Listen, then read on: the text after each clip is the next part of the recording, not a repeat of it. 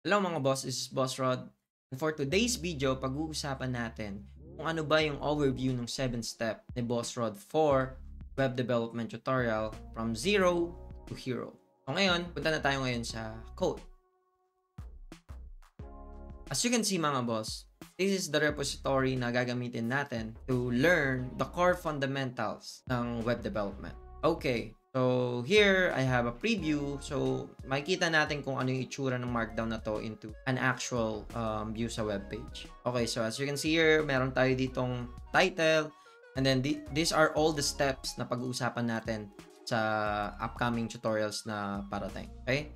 So, step 1, setup tools. Uh, isa-setup lang natin yung mga importanteng um, kailangan natin, which is the code editor, VS Code, and um, plugins or better autocomplete and tells and and the second is learn git. Ginawa ko siya nilagay ko siya sa number 2 because this is very important as well.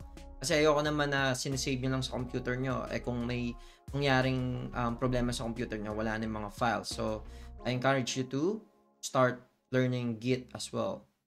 And then let's go to the next one which is um, HTML. So we're gonna talk about the, the basic um, the basic knowledge how to do how to use HTML and what HTML is for. Um, the same thing with the CSS, CSS, um, Tailwind CSS, and there's JavaScript, and then the last one is JS DOM manipulation.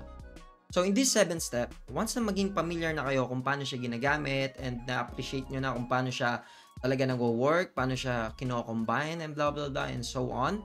Um, that's where you can start jumping into front-end frameworks like Vue, React, Angular, or okay. And also the last thing is I have bonus here.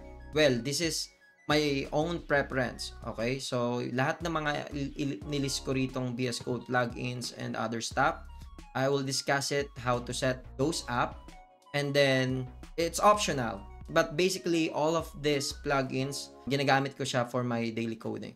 It's really up to you if you want to copy uh, the things that I've been doing and the, the plugins that I've, uh, I've been using as well. So yeah, um, see you on the next one.